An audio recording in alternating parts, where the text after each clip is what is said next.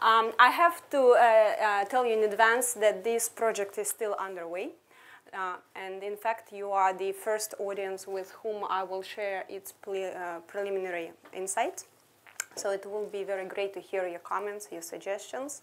Thank you very much for those in advance. Uh, before I uh, go into the actual project, I would like to um, spend a few minutes talking about the um, background of the project and uh, how it fits into other work that I do within my stream of uh, global strategy studies. Um, we believe, at IEMS, we believe that the topic of emerging uh, markets and mid-sized companies from emerging markets has its relevance in the moment because uh, global marketplace is no longer for large companies only. We increasingly see many uh, international players of mid-sized um, small size uh, uh, that are entering the uh, global markets and com successfully compete with other players. So um, from this point of view, it, we see the value of studying the experience of such companies because so far the modern mainstream management theory, management practices, they are largely confined to the experience of Western M&As on the global marketplace. Um, in terms of the companies which we study, they have a number of characteristics. They are mid-size. They are not state-run or state-owned. They are not from resource-based industries, which is particularly important for Russia. Um, they are globally competitive. They are entrepreneurial by their spirit, by the way they continuously re-innovate themselves, and they are innovative, meaning that they tend to be from R&D intensive industries. And in terms of the impact which IEMS always seeks in its work, we, uh, based on the, uh, on, on, the uh, research that we do, we publish, we don't publish academic uh, reports, we publish business reading reports to reach out to the SME audience in Russia and internationally. And uh, it's also important for us to have an impact through, through the education because we are part of the business school. So based on the research, we develop courses, we develop teaching uh, cases, which are later used in proprietary executive education programs for SMEs in, uh, in Skolkovo. Um, the new project, which I will be presenting today, it, uh, it, it, continues, I would say, the series of, of uh, research that started last year. Last year we did the um, report selected 15 winning strategies of Russian entrepreneurial firms. And the objective of that uh, project was to uncover the stratum of Russian mid-sized companies to understand how they became successful, how they grew, how their trajectory looked like, and what are the challenges going forward. The work was done together with the uh, Global Academic Council uh, on Russia at World Economic Forum. And in fact, it was published uh, as a featured report, Unknown Russia, powered by entrepreneurs and was successfully presented at the Davos Forum. Uh, report was widely discussed and uh, that encouraged us to continue working in this direction. Um, coming back to the topic of the, today's uh, presentation again, we believe that, uh, especially in Russia, uh, the context in which companies operate today, it has changed. The decade of growth has now shifted to probably a long period of stagnation. Russia's traditional focus on the West has now shifted to the East. Before, companies competed on products, their functionality. But today, as uh, consumers become more sophisticated, they require more elaborate solutions. In B2B markets, that means that companies which um, produce and manufacture, produce uh, like devices, they also have to uh, be very good at services. In B2C markets, that means that uh, companies would go to elaborate branding or very sophisticated engagement of customers. Altogether, these tougher business conditions, growing competition, it all requires SMEs to reconsider their growth agenda and reconsider how they go about internationalization which altogether means sophistication of their strategies. When we talk about internationalization, it's not only export that we mean. In fact, internationalization, it's the uh, very wide spectrum of different engagements that a company can do in a global marketplace. We call it seven degrees of freedom, so that's why you see this 7D. And the traditional way, like the stage model to internationalization, export-oriented model, it means that the company goes international to get access to new clients, new markets. But also internationalization can mean optimization of your production base, you be, being closer to the customer, you being closer to your suppliers. It can mean leveraging uh, global capital markets to finance your growth or using the global talent pool to uh, to grow your business. It can also include alliances and coalitions through which you can empower yourself to have more market clout or uh, learn from each other. And can include also having stakeholders, international stakeholders, which would um, pump up, I would say, the reputation of your company in the global marketplace. China in focus. Uh, while the current research has China in focus indeed, we believe that Russia, Russian mid-sized companies, they can learn from developed economies as well. In fact, we have done some research on German Mittelstand. We have some other developed economies in our pipeline. Uh, among the emerging markets, we have China, Brazil, India in our uh, oversight. Uh, China is the first one, and there are reasons for this. First of all, what I call signals in the background. Russia and China are similar to some extent because for a long time the economies were growing because for different reasons, but they were growing. But now, as they have exhausted their traditional sources of growth, uh, China and Russia, they, both nations, they increasingly look at how they can develop their innovation agenda, how to drive value-added export, how to grow the role of SMEs in the economy, differentiate the economy. And of course, uh, we all watch the news, Russia and China are now big friends, and they have proclaimed commitment to foster cross-country collaboration and trade. So we believe that this research will be very relevant in the moment. Uh, this slide gives a kind of conceptualization of the, um, of the project. Uh, the first quadrant is what is completed, and I will share the insights of that stage. This is something to follow. Uh, in terms of the design, just a few things. The research is based on cases. It's not quantitative, it's cases, cases of companies. We will have 15 cases, out of which seven are Russian, seven are Chinese companies, and one joint venture. Uh, in terms of the selection criteria for companies, they more or less satisfy what I've uh, mentioned in the beginning. These are mid-sized companies um, by turnover. Uh, I have to say that Russian and Chinese mid-sized business is very different. Uh, but more or less the range is from 100 million US dollars to 2 billion US uh, dollars, though it's for Chinese companies. But most of companies actually fall into like the range of 100 million to 800 million. Um, they are private, they are not state-owned, they are not from resource-based industries. Mm, the next stage will be interviewing with selected uh, companies. This is proven to be very challenging thing, especially for Chinese companies, very difficult to reach out. But we really need those insights to test our observations that we have made based on secondary resources only.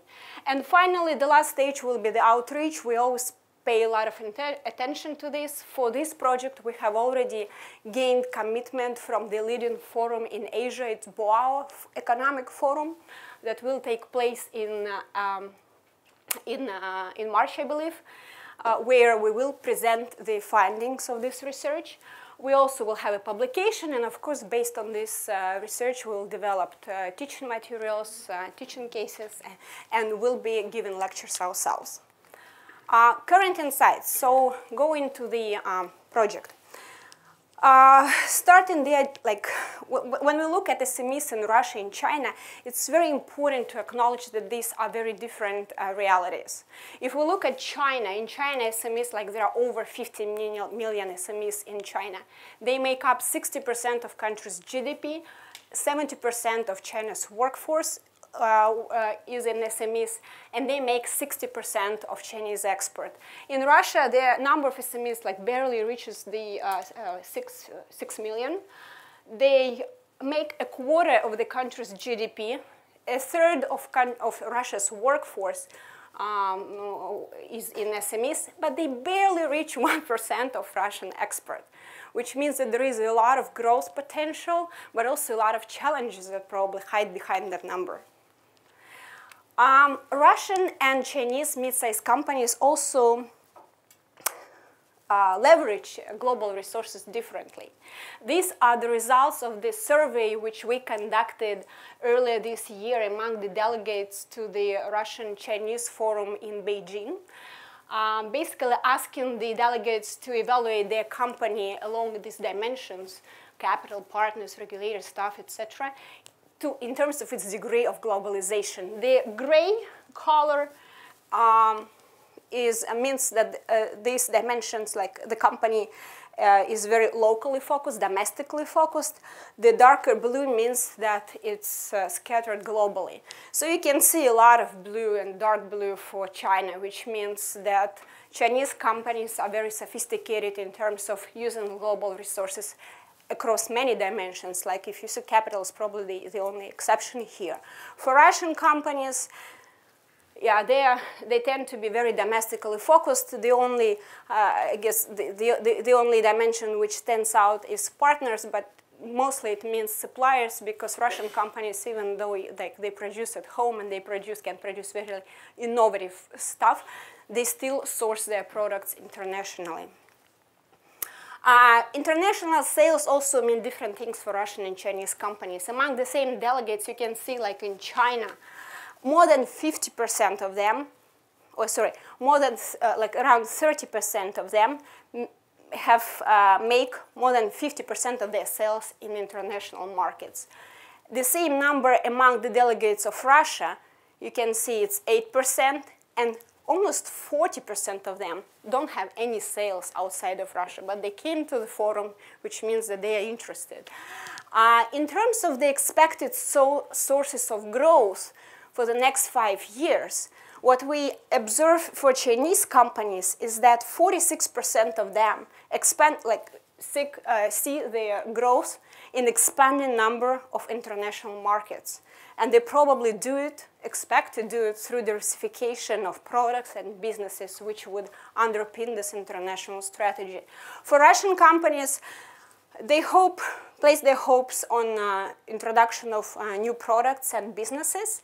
Unlike the Chinese, they have a lot high expectations for domestic expansion, which means, again, this sort of inward outlook that they still have to have. But the good thing is that, what, a quarter of them wants to expand, uh, almost a third of them want to expand internationally for the first time. So there is a trend, there is a need.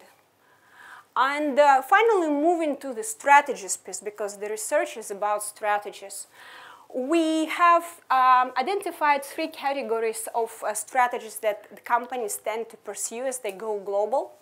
They are called global sales, which means that the company uh, most likely operates in a very niche and specialized market. And uh, uh, most of its uh, operations, its R&D, its staff is concentrated in its domestic market, while its sales are very international. Another uh, group of companies, they exhibit, uh, they, their strategies is, uh, strategies called global operations, which means that these companies, they first, the domestic market is their core market. And if they go internationally, it's one of the main reasons why they do this is to source new um, technologies, maybe to lower their production costs in order to become more successful on the domestic market. So their share of international operations is high, but their share of international sales is low.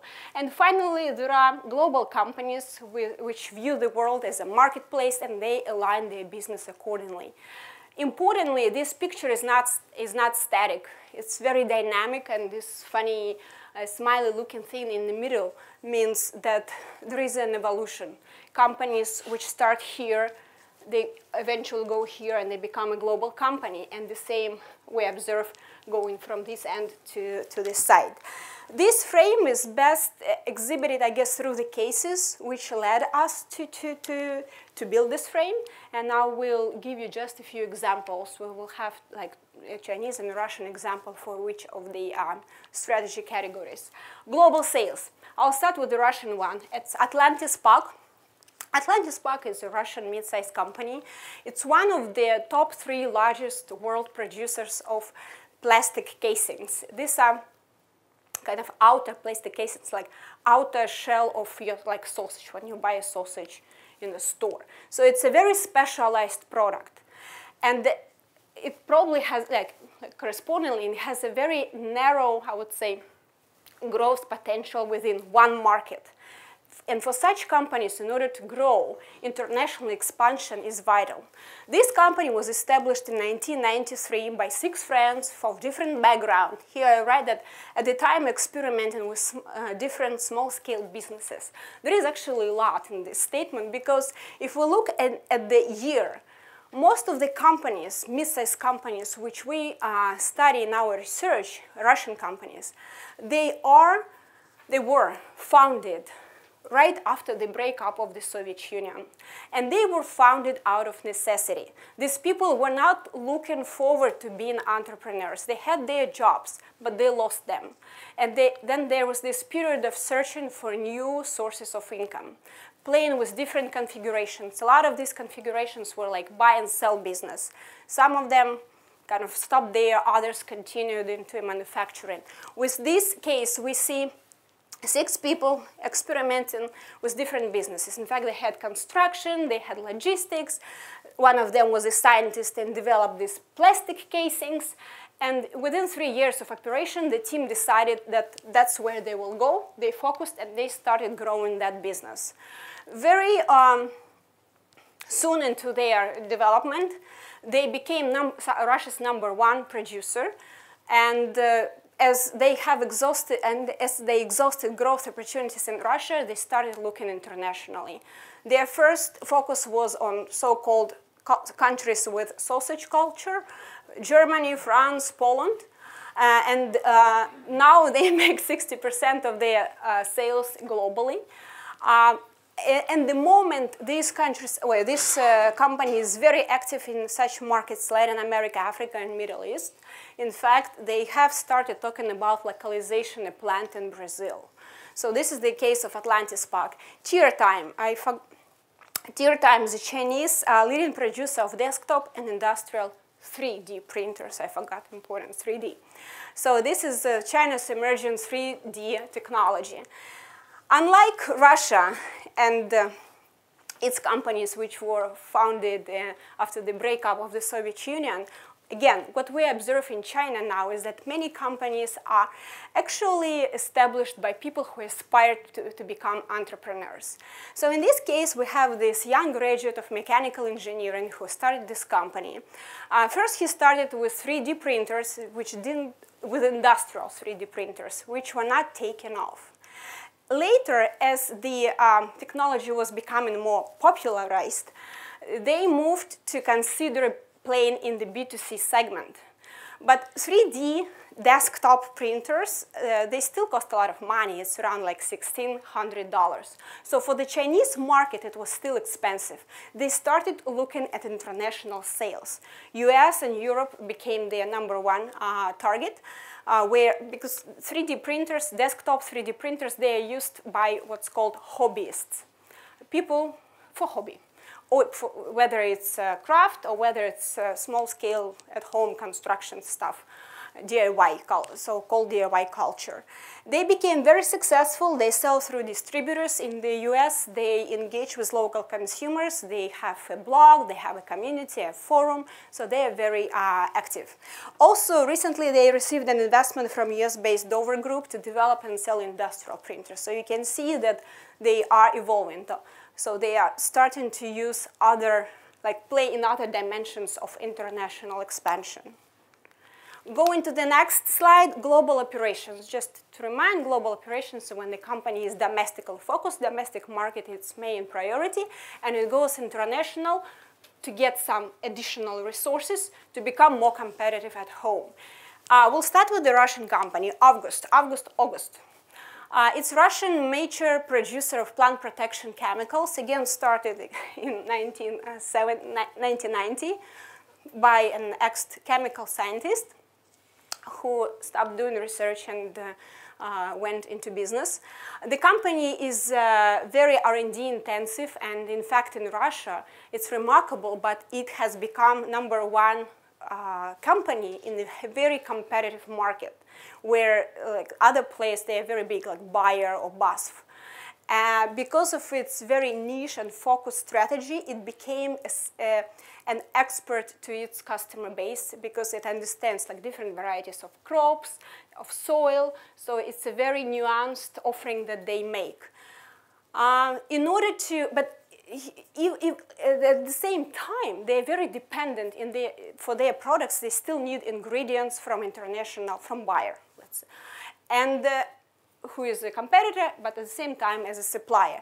To lessen the dependence on its supplier, the company went to establish a joint venture in China with a Chinese company to cut down on the cost of its uh, active substances which were used in the final products. It uh, basically made the operations of the company more efficient, and that's how the company, the, uh, August used, again, other opportunities outside of the uh, country to be more competitive in the domestic market.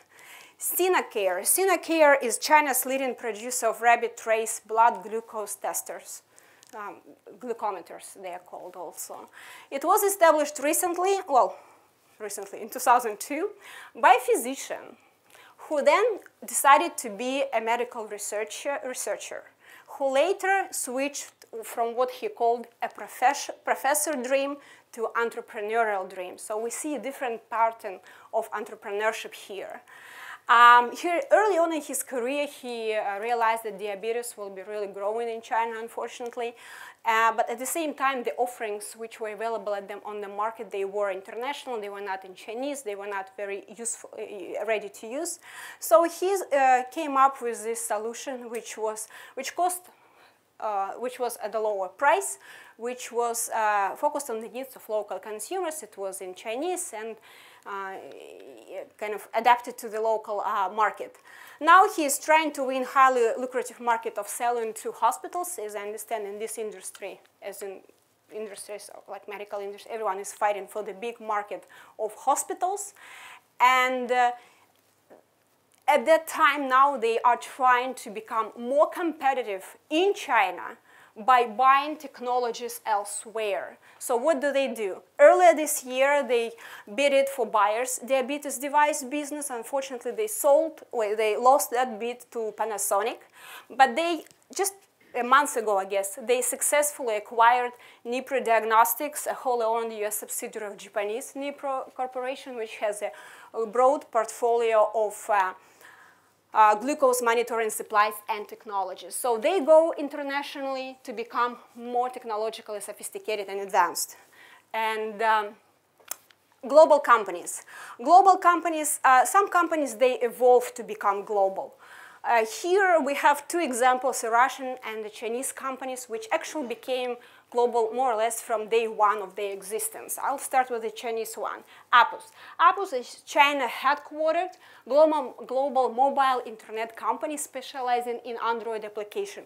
What this application does, it's um, basically helps, it's for Android phones, it helps users of uh, uh, primarily cheap Android phones to improve the performance of their phones by boosting their, I don't know, their time duration, their battery life, by expanding the memory space.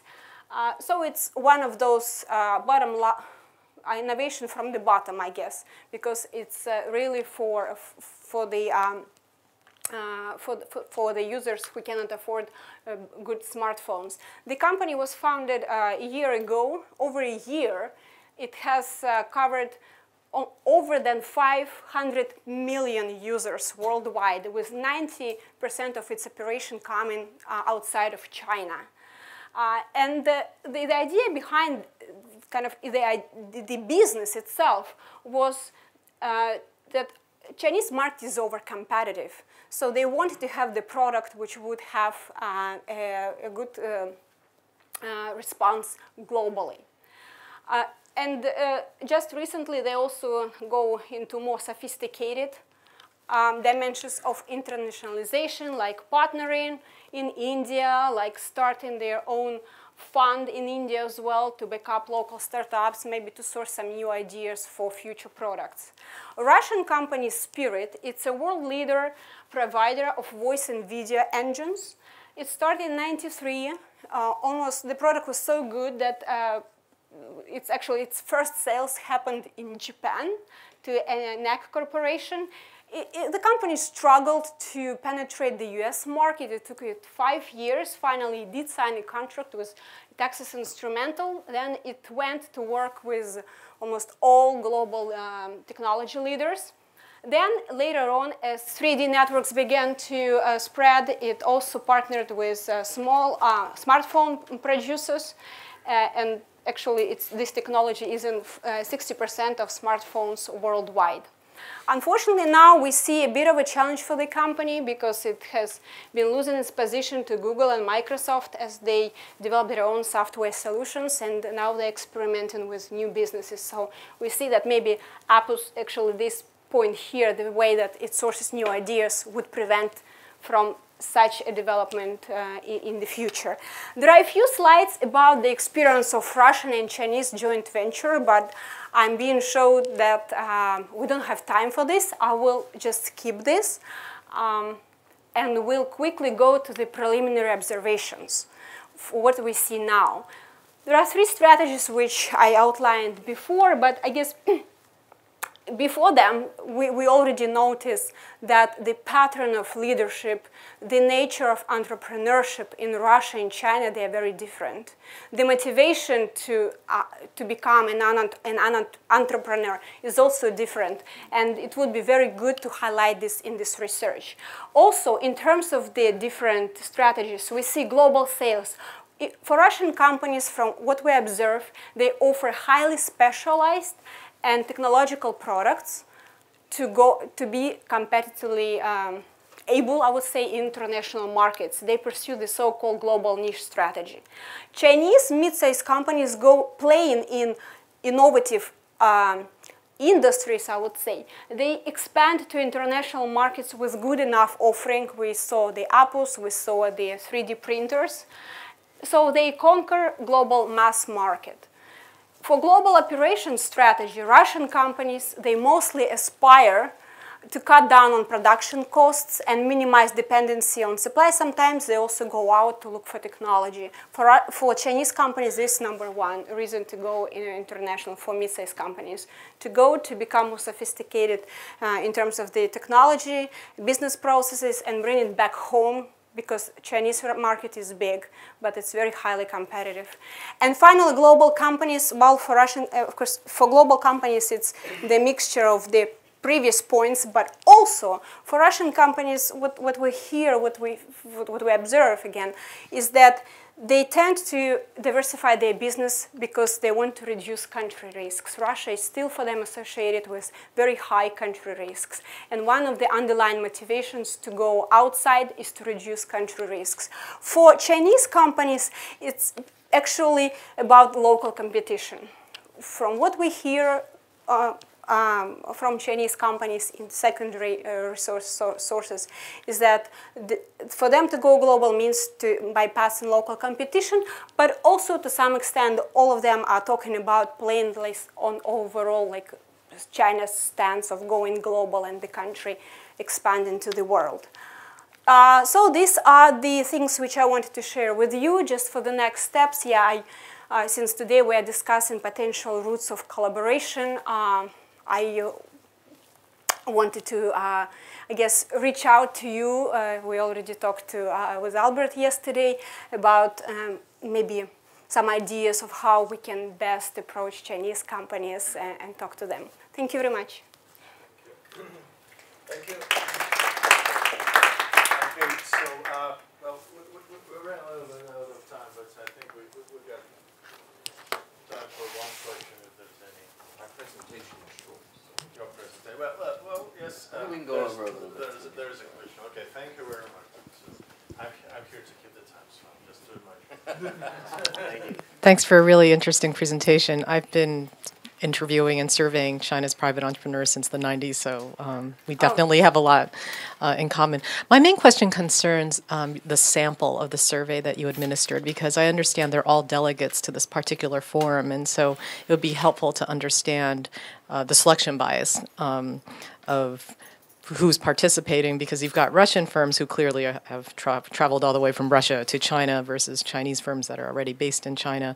Um, are they all medium sized? Were they biased by particular sectors? Because that might help us understand the nature of the you know, particular biases that are coming out in, in your survey.